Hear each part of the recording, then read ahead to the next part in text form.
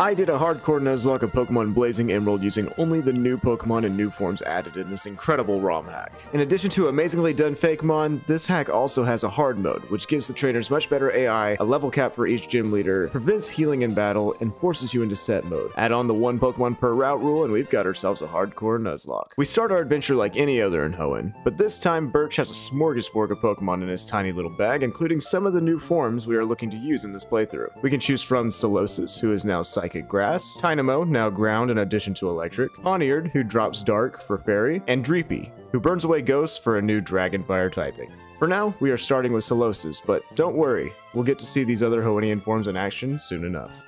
After defeating the terrifying Zigzagoon for Birch, he takes me back to his lab and rewards me with the borrowed Solosis, who I dub Caduceus. Caduceus and I take a trek north to meet up with May, who challenges us to our first rival battle. She sends out her Eevee to oppose Caduceus. A Tail Whip drops our defense, which we aren't too worried about. Cad lets off a Confusion, doing a good chunk of damage, and getting the 10% Confusion status infliction. Eevee breaks through the Confusion for a weak tackle, and then takes another Confusion to the brain. May isn't as lucky on the last turn as her Eevee hits himself, leaving a sliver of health that is promptly cleaned up by Cad with one last confusion, winning us our first rival battle. We move on to Petalburg Woods, where we find our first catchable teammate, a bug dark Venonat. We name her Vex'ahlia and welcome her to the team. After wiping the floor with the Aqua Grunt bullying our Devon Goods friend, we head straight to Rustboro to take on Roxanne and her rock types. Her lead Aron goes down in one hit to a magical leaf from Cad, and then she sends out her Hoennian Mareanie, who is now rock and poison. Two magical leaves is all it takes to drop the crystalline cutie, which prompts Roxanne to send out her final Pokemon, Geodude, who is also taken out by Caduceus' magical leaf giving us our first gym badge and a easy fight. After saving Pico from Team Aqua and returning her to Mr. Briny, we are challenged again by May on our way back through Petalburg Woods. This time she leads with her new Pikachu to face off with Cad. She lets off an Iron Tail, dealing a small chunk of damage. Cad fires back with a massive confusion. We rinse and repeat and Pikachu goes down. Next out is our old friend Eevee, who I notice is now a girl. We love a trans queen. She goes for a quick attack before almost going down to a critical hit confusion. I can't stay in with Cad at this health, so I swap out to Vex'ahlia on another quick attack. One more quick attack hits before Vex takes out Eevee with a feint attack, winning us our second rival battle.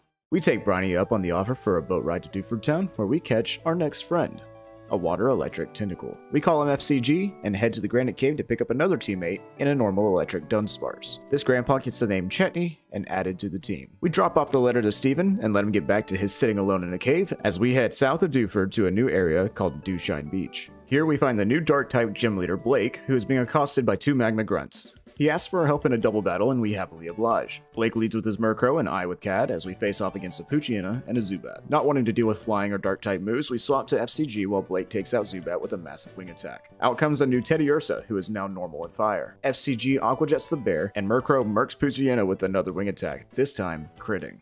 Numel comes out and I promptly Aquajet it into Oblivion and let Blake finish off the Teddiursa for the win.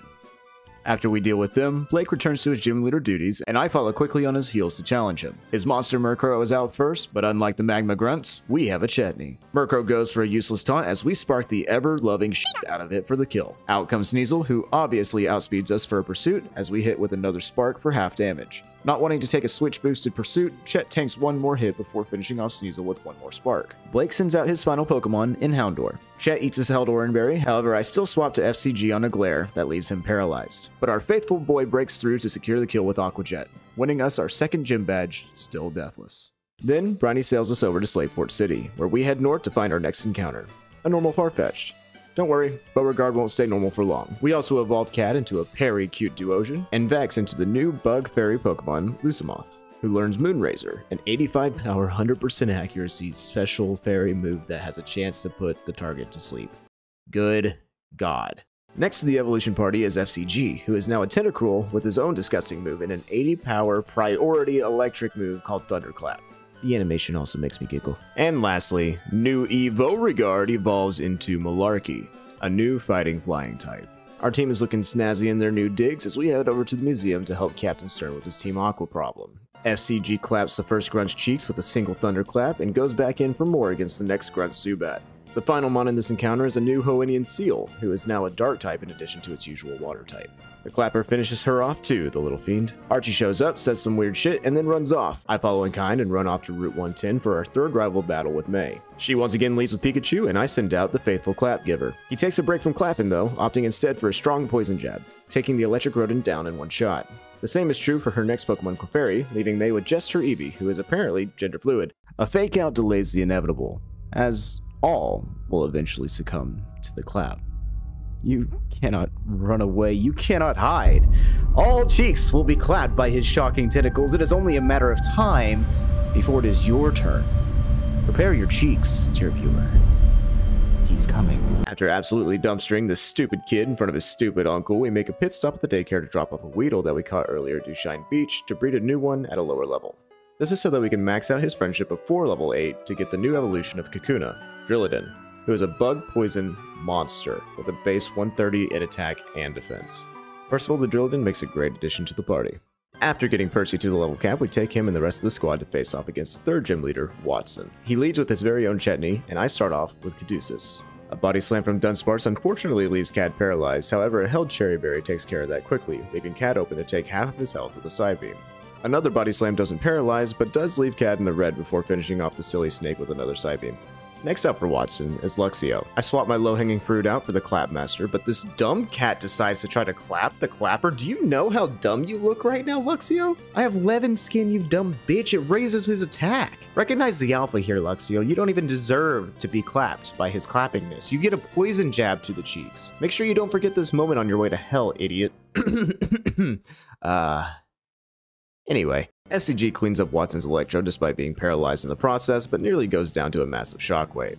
To avoid losing him to an unfortunate paralysis proc, I swap into Percival to finish off Magnezone, but not before they paralyze themselves with the new 160 base power move, Overcharge. Percival doesn't have much to deal damage to Magnezone, so I choose to hope that Pin Missile hits enough times to kill so that we don't lose our new baby boy.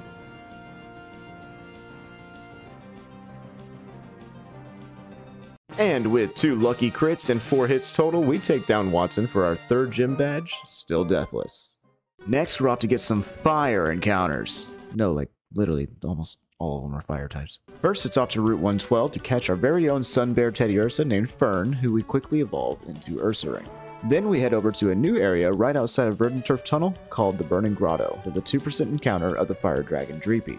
Jester took quite a while to find, but we are glad to have her on the team. She can also evolve immediately into Drakloak. On Route 113, we catch a Steelfire Skarmory named Yasha, and on 114, we catch a Seviper named Simon, who, after grinding through Thief procs on a 5% held item needed, evolves into the new Poison Steel type Silviper. We then finally head north of Fallarbor to a new area, the Fallarbor Mines. There, we find out what Brawly's been up to, teaching the young children who yearn for the mines their craft. I break free of my new calling long enough to pick up the electric ground Tynamo, who we name Ashton, and get out before Brawly entices me back to my new passion job. I have an adventure to finish, Brawly. The mines will be here for me when I get back. Capping off the slew of catches and evolutions is Caduceus, who evolves into a Reuniclus with a kinky side. We head to Meteor Falls to break up the powwow between Team Magma and Team Aqua and follow them to the top of Mount Chimney to take on Team Magma's leader, Maxie. He leads with his own Ursaring, and I send out the Clapper to do some business. Two Aqua Jets take out Shadow Fern and give way for Maxie's Typhlosion. Another two Aqua Jets and some recoil from Double Edge are enough to bring down the volcano on the volcano. Lastly, Maxie sends out poor old Camerupt to go down to a single Aqua Jet, meaning that FCG took out Maxie single-handedly. The ocean wins today, landlubber. On the way to Lava Ridge, we pick up another fire type in the Grass Fire Hoennian Maractus. We call him Caleb and move on to take on the Lava Ridge gym. Flannery comes out hot with Larvesta, who I was prepared for and made sure I started with Bo to OHKO it with Drill Peck. Rapidash is next, who outspeeds us for a bounce that does massive damage and paralyzes our poor duck. Still, she breaks through the paralysis to connect with a critical hit Drill Peck for another one-hit KO. Skarmory comes out next, and Bo takes her lead for Fern to come out, who is met with a critical hit Flare Blitz brings her too low to keep in. Instead, we go to Bo's beloved Yasha, who eats the incoming Flare Blitz with a Flash Fire, sending her into a rage that powers up her Blaze Kick. Flannery Skarmory has Magma Armor instead of Flash Fire, which leaves Yasha free to kick him until he goes down while tanking attempted overheats. Camerupt comes out now, but has nothing to do with Yasha's fiery rampage, save a few weak body slams. Camerupt follows in Skarmory's footsteps by going down to Yasha's footsteps, winning us our fourth gym badge, still deathless. May meets us outside the gym and gives us the Go Goggles, allowing us to traverse the desert on Route 111, which I'm counting as a new route for an encounter. If you don't do that, you're weird. And search for a 2% Hoennian Pinsir, a ground bug type, who we eventually find, catch, and dub Grog. We also take the time to evolve Ashton into Hoennian Eelektrik and Chetney into the brand new Dragon Electric Drasbarath. We head back to Petalburg to take on Daddy Norman and his normal types. His normally scary normal type team doesn't stand much of a chance against Bo. She sets up a swords dance and then one-shots every single mon on his team. Easily earning us our 5th gym badge, Very Deathless. With our newly acquired Surf, we head over to Route 118 and pick up a regular Doduo, who we name Vax'ildan. To be able to evolve him, we need to head back to the desert to pick up a Cubone to evolve into a Marowak, to have in the party when we level Vax up. Now, we can evolve him into the new and improved Flying Ground Dodrio. We also pick up a Fairy-type Goomy, who at first glance doesn't look too different. However, when Tarion evolves with High Friendship, we get the very different Gulassel, a high HP, high special attack, and special defense behemoth. It's time for the Weather Institute and our fight with Admin Shelly. She starts with the Hoennian Dugong, who, as a reminder, is Water Dark, and I send out Bo. A Sky Uppercut just barely doesn't get the KO, and Bo tanks a hefty Ice Punch because of it. Another Uppercut finishes the job, but Bo is still in dire straits. As Gorebyss comes out, we swap to Caduceus on an unfortunately timed Ice Beam, leaving Cad worse off than Bo. I can't risk staying in, so FCG comes in to tank the next Ice Beam and one-shot the fish with a clap, winning us the battle. Just across the bridge from the Weather Institute is our next rival battle with May. Her newly evolved Raichu is up first, and Bo comes out not expecting to be countered immediately. I swap her out for FCG to get 11 skin boost, but the damage from his Thunder is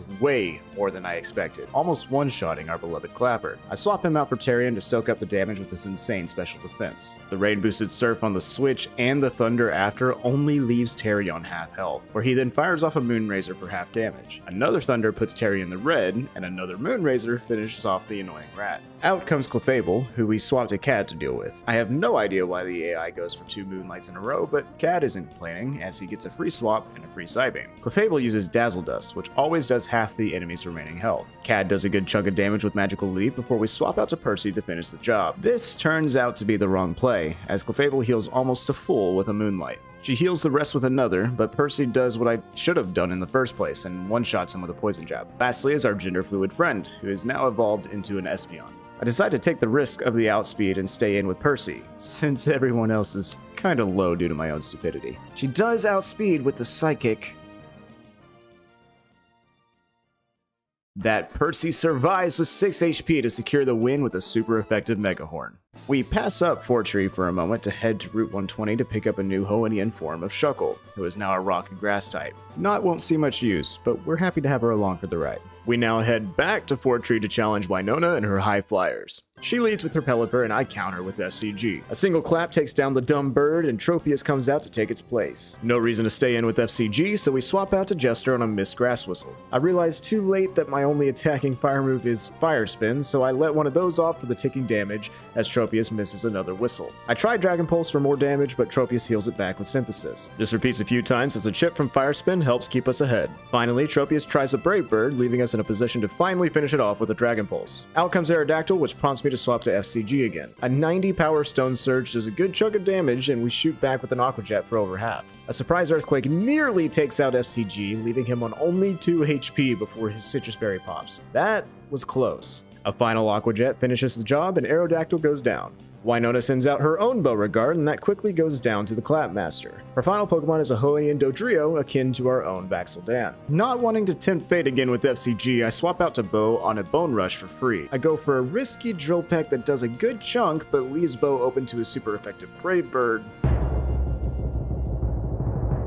that she lives on 1 HP thanks to her ability Resolute to take the battle with a final Drill Peck, winning us a very close and very scary battle, somehow deathless. With the new level cap, we can finally evolve Jester into Hoennian Dragapult and teach her Dragon Darts, the fire version of the Lion signature move. We also can go to the Desert Underpass, which is the place that Ashton needs to be to evolve into Hoennian Eelektross.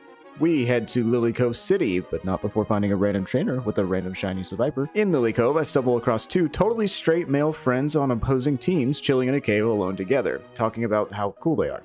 In exchange for not adding their star-crossed love, they offer me, a child, black market deals on some rare items. After that fun little detour, we head to Route 123 on our way to Mount Pyre to stop and finally pick up this Steel Fairy cutie, Hoennian Pawniard. Aurum joins the team as we head up to the top of Mount Pyre to stop whatever it is that's going on there and get the magma emblem from the old lady on top of the mountain. I don't know, I, did, I stopped paying attention. On our way out, we stop in the grass to pick up the new ghost flying Emolga that we name Mollymauk. Finally, I realize that we can go ahead and evolve Aurum into the badass Hoennian Bisharp. just look how cool he is. I love him. Wanting to check out the department store, I talk to May and take on her challenge for our last rival battle. She leads with a new Crawdaunt, and I send out the Clapmaster. Thunderclap takes out Crawdaunt, no problem. Tropius comes out next, and I swap to Jester on a grass whistle that actually hits, putting our devil to sleep. Confident that she can tank a hit or two, I spam through the full five turns of sleep as Jester tanks two flies. A devil darts that crits on the second hit is enough to take out the banana dino. Clefable is up next for May, and I swap out to Aurum for his debut. An Ironhead does some massive damage, but that damage is healed back up with a wish. Another Ironhead is just barely not enough to take him out, but gets the flinch, allowing for a third and final Ironhead to finish off Clefable. Raichu comes out and sets up a scary tail glow, which leaves me in a position to have to make decisions and take risks. I decide to stay in for a turn, and Aurum just barely lives an Electro Burst, which is a 90 power move with a 40% chance to lower accuracy. Aurum's Ironhead comes out and does a considerable amount, but now I am faced with a conundrum. Do I swap out and try to take a massive hit with another team member? If I don't, Aurum will certainly perish in his first ever battle but if not him, it will most likely just be somebody else. I decide that I just can't bear the thought of losing our new friend this early, and I swap out to our trusty starter to try to soak this massive electric stab. Oh, wait, he went for surf. Huh, okay. Well, that puts Cad in a position to tank a not very effective Electro Burst and finish off the glowing-tailed rat with an Energy Ball. All that's left for us to do now is deal with our old friend Espeon, who answers the switch to FCG with Shadow Ball. I go for a Liquidation to try to deal as much damage as possible, since whatever Espeon has won't be too much damage for Sir Clappington. A Psycho Boost comes out. Wait, Psycho Boost? No!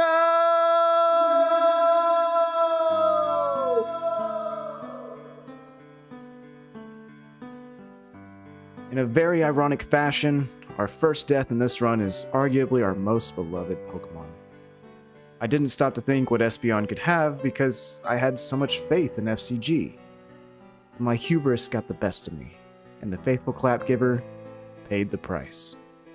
I'm sorry, FCG. You will always be remembered. Bo comes out for the revenge kill with a drill peck and wins us the battle. A hollow victory for sure. But as unfortunate as this loss is, we still have a job to do.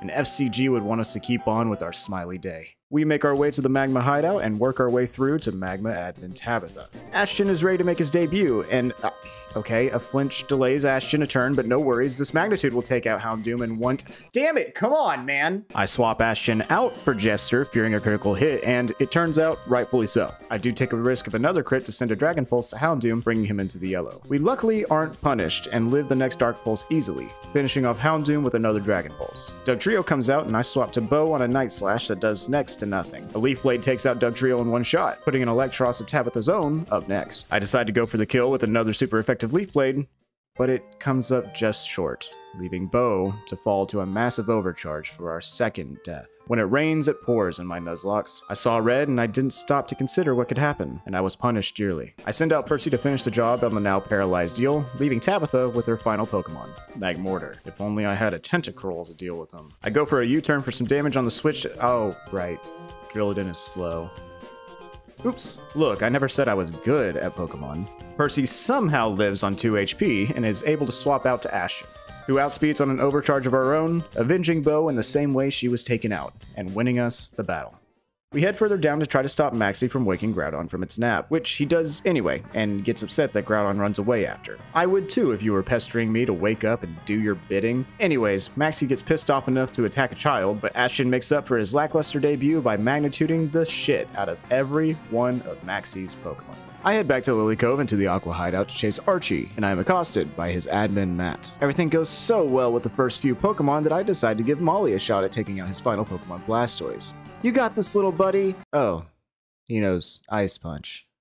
Oopsies. Much like his namesake, Mollymauk goes down before we get a chance to learn much about him. Percival finishes off Blastoise, and we move quickly on this train of death and despair that I seem to be on. On to Mossdeep City and the double battle against Tate and Liza. Hypno and Grumpig are out first against Vex and Aurum. Vex's Signal Beam almost takes out Grumpig, and Aurum finishes off the job with an Iron Head. Solrock and the Sun come out, and Hypno sends a weak Psychic towards Vex. Another Signal Beam from Vex takes Hypno to half, and unfortunately, Solrock outspeeds Aurum for a successful Fire Blast on Vex, taking her out instantly. Our first catch goes down in a blaze of glory. The latter half of my Nuzlocke always seem to be this way, and it never gets easier. Bidding farewell to Vex, we send out Yasha, and Aurum only takes out half of Solrock's health with an Iron Head. A Calm Mind from Hypno is a bit scary, but shouldn't be an issue. A Calm Mind from Solrock is also scary, and may be an issue. Aurum takes out Hypno, and Lunatone comes in and tanks the Blaze Kick Mint to secure the Hypno kill. I swap Yasha out for Cad, praying that another Fire Blast isn't coming. Luckily, an AP and a Raging Waves water move take less than half of Cad's health. Aurum finishes off Solrock with an Iron Head, and out comes Alakazam.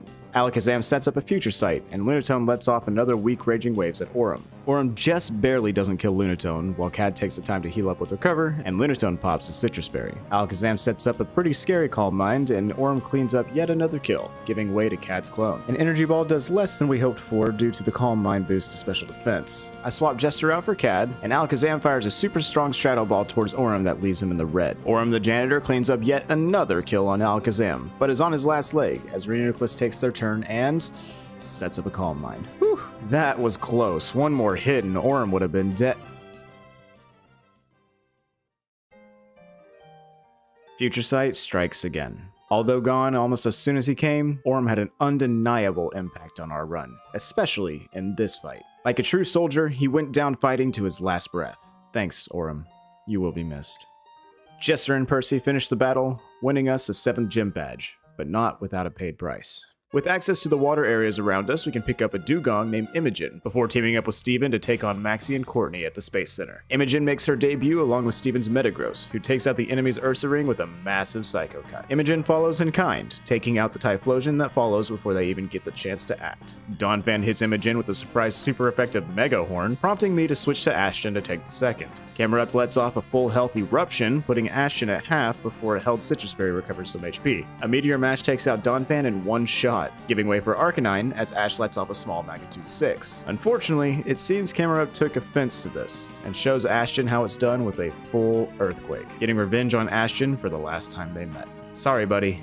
Thanks for the help. Metagross and Arcanine go down as well, leaving Camerupt alone for a moment to ponder their massacre. I send out Jester, Steven sends out Skarmory, and Courtney sends out Charizard. Skarmory finishes off Camerupt with a Brave Bird, and Charizard goes down to a Dragon Pulse and another Brave Bird, winning us a tough, costly battle. We take a detour to the Shoal Cave to pick up a static encounter of the Crystal Onyx, a rock ice type. We call her Pike, a much needed light to the team after all the losses. Pike evolves immediately into the amazing new Crystallix, a specially defensive Titan. We also find a water ghost type Chinchou named Laudna in the underwater grass. After hunting for a Duskstone, we evolve her into Lanturn. We also pick up a Hoenn Qwilfish, a water steel type. Although Veth won't see any battle, we appreciate her moral support from the box. In a deja vu moment, we are attacked by Archie as we try to stop him from waking Kyogre. He leads with Mightyena, and unfortunately I start with Cad. I swiftly swap to Percy on a weak poison fang. Mightyena switches to Frostbite, which is a stronger ice fang that does a little bit more damage. Percy takes a turn to hone in his move, and then finally connects with the Mega Horn for the OHKO. Sharpedo comes out and takes a massive crunch out of Percy before going down to another Mega Horn. Dugong is out next, and my only option is to swap out Percy since he's so low. But unfortunately, this seems to have been foreseen, as Dugong pursues Percy as he's being recalled into his ball,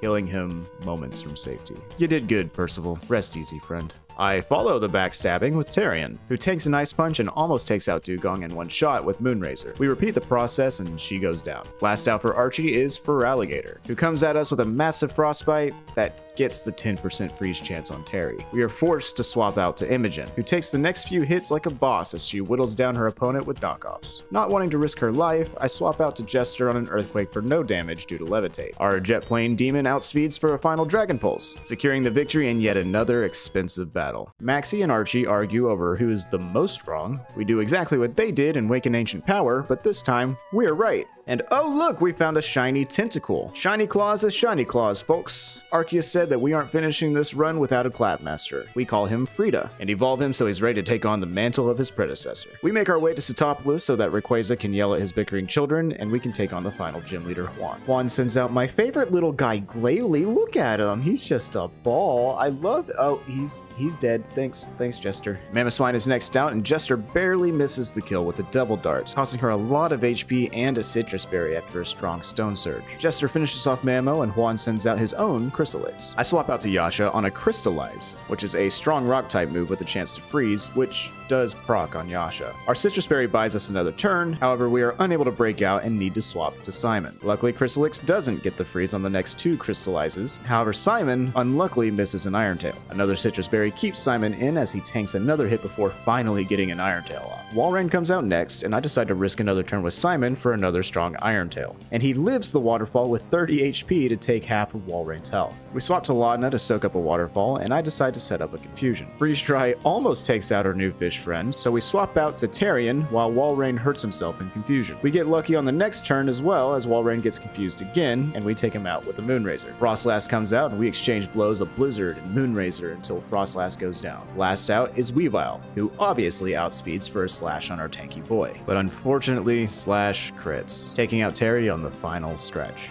I really thought we had this one easy, but there seems to be a cost to every single battle now. Fern comes out and gets the revenge kill with a flame wheel, securing our last gym badge. We make our way through Victory Road and find ourselves finally at the Pokemon League. We take the time to prepare our final team and land on the ragtag group of Imogen, Jester, Frida, Caduceus, Simon, and Pike to take on the final five fights. First up is Phoebe's Ghost Team. Her Emolga comes out first, and I send out the newly minted Clapper. We put him to work quickly, as one Thunderclap takes out Emolga in one shot. Next up is Gengar. Jester swaps in on a weak Giga Drain, and we set up a Dragon Dance knowing that Gengar doesn't have much to hit us with. And Ice Beam does a good chunk, but not as much as these Dragon Darts do as they take Gengar down. Banette comes out and eats a hefty Dragon Pulse and tries to take us down with a Destiny Bond. I D-dance to stall out another Destiny Bond, but she opts instead to knock off. I go for the kill, but just barely miss the KO with another Dragon Pulse. In the moment, I forgot that Devil Darts is physical, hence why I'm going for Dragon Pulses instead, even with all these D-dance boosts. She tries again for a Destiny Bond, so I stall out another few turns with D-dance until she gives us an opening to kill. Dusknoir comes out, and since I am dumb and still don't realize I can sweep her from here on with darts, I swap to Imogen on an Ice Punch. Two knockoffs later, and we're on to Cofagrigus, who goes to half on another knockoff, before putting us to sleep with Shade Trance. Shadow Tag keeps us from switching, so I am forced to wait out the sleep while initially weak Shadow Balls get stronger and stronger and stronger. But Imogen wakes up in the nick of time on turn 4 and finishes off Cofagrigus. but Imogen wakes up in the nick of time on turn 4 and finishes off Cofagrigus with a knockoff. Last out is a Laudna of her own. I can't stand to make these two fight, so I swap out to Frida on a strong Dark Pulse that scares me for a moment before healing up with a Sitrus Berry. The clapping will have to wait since I don't want to risk another crit, so I go out to our special wall Pike to whittle Lanturn down as he goes for useless Hydro Pumps thanks to the new ability Crystal Case, which makes us even weaker to fire but immune to water. Elite 4 Battle 1, done. Serena and her grass types are up next in our gauntlet. Jester and Sunflora are out first, the latter of which kindly sets up the sun for us with Drought, so we can D-dance once and sweep the ever-loving f*** out of this poor team with sun-boosted Devil Darts. It just wasn't even close. Great job, Jester. You single-handedly secured us battle number two. Third to the party is Bede, the fairy specialist. Luckily, Simon is also a fairy specialist, being poison and steel. Wigglytuff, Azumarill, and Goolossal are no match for the onslaught of poison tails brought by our Danger Noodle. Bisharp comes out as the second painful reminder of this battle, so we swap out to Jester to take him down in two turns with Devil Darts. Sylveon threatens our dragon, so we swap back to Simon on a fake out. Sylveon outspeeds for a Dazzle Dust to take exactly half of our remaining HP, as we just miss out on the KO with Poison Tail. A desperate Hyper Voice takes us low, but not low enough as we finish off Sylveon. Finally, Bede sends in Togekiss. We swap to Clapbot 2.0 to finish the job with what he does best, winning us Battle 3 of 5. Last up for the Elite Four is Drake, the Dragon Master. A Dragonite is up first against Imogen. He flies, dealing a good chunk of damage that we return with an Ice Punch. On the next fly, we take the free turn to heal with Slack Off before finishing the job with another Ice Punch. Next out is Old Man Drasperath. Not wanting to fall victim to any electric moves, we swap to Pike to absolutely tank two Thunders before taking Drasperath down with an Ice Beam. Out comes Flygon threatening an Earthquake, so we swap to Jester to eat it with Levitate. A Dragon Pulse is enough to OHKO and give way to Garchomp. Jester bravely stays in and outspeeds for another strong pulse for another one shot on the Scary Shark. Salamence is next and we outspeed again on the kill on... Oh no. Salamence barely hangs on with an absolute sliver of health, leaving Jester wide open to take a massive outrage, taking her down in one fell swoop. Our MVP unfortunately couldn't quite make it to the end. Don't worry girl, we'll close this out for you. Frida cleans up the Salamence kill with an Aqua Jet, and Drake sends out his final Mon. A cruel joke, if you ask me. Frida takes some huge damage from a Dragon Pulse on the rare second move in the turn, as we go for a Liquidation for max damage, which does a lot less than anticipated. Pike comes in to tank some hits, but she ends up too low for comfort, forcing me to swap out to Imogen. Imogen is unfortunately not very useful in the final fight, so she valiantly gives her life here for a safe swap to Simon, who luckily takes a Dragon Pulse instead of Devil Darts and secures the win with Poison Tail, clearing the Elite Four and setting us up for our final bout with the champion. Thanks, Jester and Imogen. This one's for you. Our final fight versus Wallace begins the same way we did, with Caduceus out first. His energy ball handles Whiscash easily after he sets up a future sight on us. Gotta keep that in mind this time. A vision of FCG visits us, and we shake off our nostalgia tears long enough to take it out with another energy ball, although it does leave us poisoned from a poison jab. Lapras enters the fray, and it's time for Cad to share the spotlight a bit and let Pike take the future sight and chip Lapras down as she heals us with water moves. A Perish Song puts us on a timer, but we are still able to get the kill with Ancient Power. Ludicolo comes out, and we tank an Energy Ball and give a good chunk of damage with Ice Beam before swapping out Pike on Perish Count 1. Simon takes the stage and takes a laughable Energy Ball and Surf before destroying Ludi with Poison Tail. Crawdaunt is next out, who takes half health and a poison from a Poison Tail and goes for an ill-timed D-Dance. He does outspeed us on the next turn, but misses the kill, leaving Simon free to finish him off. The last bow in this run is Milotic. Knowing that we need a safe swap, I unfortunately have to let Simon go, just before the finish line. Your sacrifice might have been the most important of all, my friend. Rest easy. Frida takes the safe place left by Simon and lets off a massive thunderclap as Milotic barely hangs on. She goes for an ill-advised Toxic, leaving Frida open to do what he and his ancestors do best. Clap cheeks. Winning us the battle against Champion Wallace and the whole damn run. Blazing Emerald was a joy to play through, and there are still some new Pokemon and forms that we didn't even get to see in this run. Check it out to see what you can do with these awesome new Mons. I got very attached to all my teammates, making every triumph and downfall so much more potent. Here's to you, FCG, Bo, Molly, Vex, Aurum, Ashton. Man, this is a lot of Pokemon. I suck. Percy, Taryon, Jester, Imogen, and Simon. I couldn't have done it without you. Thank you all so much for watching. If you made it to the end, let me know in the comments what your favorite new Pokemon form was, and if you like this video format. Until next time, friends, take it easy.